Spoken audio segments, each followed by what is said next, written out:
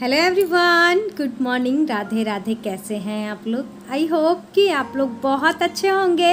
स्वस्थ होंगे, मस्त होंगे, अपनी लाइफ में, अपनी वेट लॉस जर्नी में बहुत ही ज़्यादा व्यस्त होंगे।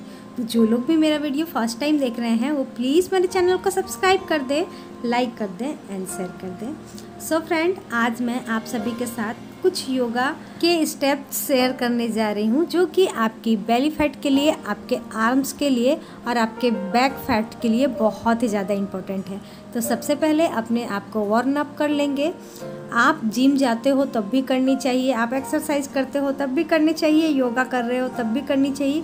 यहाँ तक कि रनिंग भी करते हैं ना, तब भी हम लोग थोड़ा सा अपने शरीर को तोड़ मोड़ मोड़ करके थोड़ा सा अच्छा कर लेते हैं, उसके बाद फिर आगे की जर्नी स्टार्ट करते हैं। तो यहाँ पर मैं यही सब करना स्टार्ट कर दी हूँ। तो योगा करने से जब भी आप बैठे तो जो मैं कर रही हूँ, ये सब ज़रूर करें। तो सबसे पहले मैंने अपने हाथों को जिस तरीके से किया है, जैसे कि ये ये आपकी बैक की जो चर्बी है ना, उसे बहुत ही अच्छे से आपका कम कर देगा। इसे आप बैठ कर भी कर सकते हो, खड़े होकर भी कर सकते हो। तो हर एक स्टेप्स को आप कम से कम पंद्रह बार तो ज़रूर कीजिएगा। यानी कि क्लॉक एंड एंटी क्लॉक इस तरीके से आप ज़रूर से ज़रूर कीजिएगा। आप देखें तीन स्टेप्स में मैं की। पहले क्या की फिर सेकंड बार, फिर लास्ट में सबसे ऊपर के तरफ़ मैं अपने हाथों को लेकर गई हूँ और इस तरीके से फिर मैं पंद्रह बार क्लॉक फिर पंद्रह बार एंटी क्लॉज आप चाहें तो इसके कम से कम तीन सेट ज़रूर करें। और अगर एक बार में नहीं कर सकते हैं तो फिर आप दिन में दो या तीन बार ज़रूर करें। उसके बाद अब आता है ब्रेस्ट एक्सरसाइज की बारी।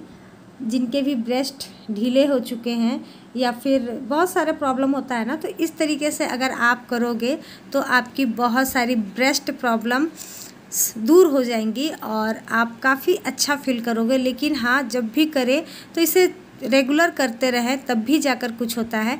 एक दिन, दो दिन करने से कुछ नहीं होता है। कम से कम आपको तीस से पैंतालीस दिन का समय देना पड़ता है, तब जाकर कुछ होता है।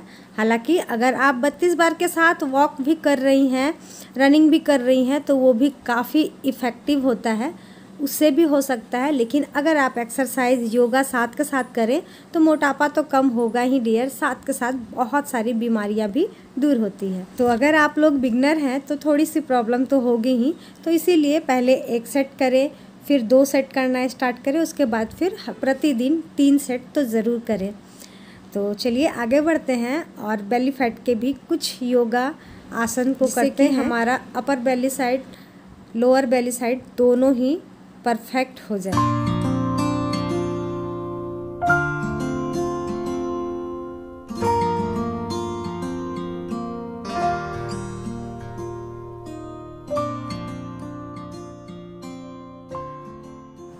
तो यहाँ पर मैं कर रही हूँ चक्रासन। जितना हो सके अपने आप को झुकाएँ और कम से कम अपने जो पैर की उंगलियों को है, उसे तो ज़रूर टच करें और फिर अपने हाथों को टच करते हुए और गोल गोल घूमें। ये कम से कम तीस से लेकर पचास बार आप ज़रूर करें।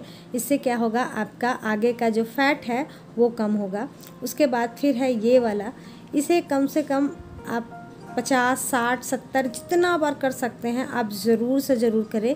इसे करने के बाद आपको इतना अच्छा फील होगा ना, अगर आपके पीठ के रीढ़ में बहुत ज़्यादा पेन होता है और फिर उसमें भी बहुत सारी चर्बी भरी हुई रहते हैं। आप जानते हैं बैक में हमारा कितना, सबसे ज़्यादा लेडीज़ लोग का चर्बी बैक में ही रहता है। हर तरफ़ से रहता है, ऊपर से लेकर के नीचे तक रहता है। बैक में बहुत ही ज़्यादा चर्बी होता है। तो इस तरीके से करने से वो भी चला जाएगा। प्रतिदिन करेंगे तो साथ के साथ अपने दोनों मुट्ठियों को बंद कर कर, नाभि के पास हाथों को रख कर और अपने आप को मैं जितना हो सकता है झुका रही हूँ। साथ के साथ सांस लेना, छोड़ना, ये सब भी कर रही हूँ। और इससे क्या होगा ना कि आपका बीपी भी नॉर्मल होगा और साथ के साथ बेली फैट में भी बहुत राहत मिलती है। तो इसे कर लेंगे, उसके बाद फिर से हम लेट जाएँगे और अब मैं करने वाली हूँ बेली फैट के कुछ योग क्रियाएँ आसन और स्टार्टिंग करते हैं पवन मुक्त आसन से, उसके बाद फिर आप देखें सारे योग क्रियाओं को।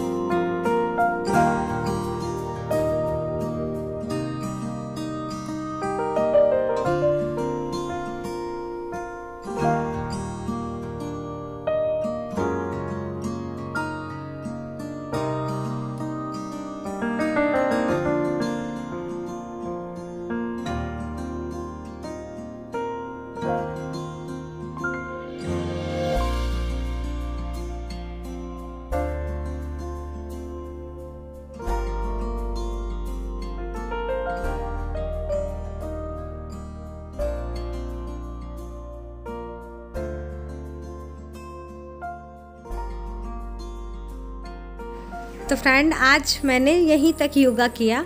आप सभी को कट कर कर दिखाई हूँ। मैंने फुल फुल स्टेप्स किए हैं। तो आप अपने प्रतिदिन, दिनचर्या में अगर आधे से 45 मिनट के लिए इन सभी को कर ले और आधे घंटे का वॉक कर ले और साथ में 32 बार कर ले तो आपको कोई भी नहीं रोक सकता है वेट लॉस करने से। चाहे जितने दिनों का भी आपका मोटापा होगा, आप ज़रूर से ज़रूर वेट लॉस कर सकती हैं। तो चलिए, अब मैं थोड़ी देर बाद पानी पी ली हूँ। पानी पीने के बाद घर का काम कर लूँगी, क्योंकि सारा काम पड़ा हुआ ही है और आप जानते हैं कि सुबह सुबह का कितना सारा काम होता है। सारे लोग सब कुछ बिखेर कर चले जाते हैं और साथ के साथ आज है जितिया, यानी कि ज, अष्टमी, जीता अष्टमी जो हम लोग बोलते हैं। तो आज के दिन मैं बनाऊँगी पक्का खाना। चावल नहीं बनेगी, पूड़ी और सब्ज़ी बनेगी।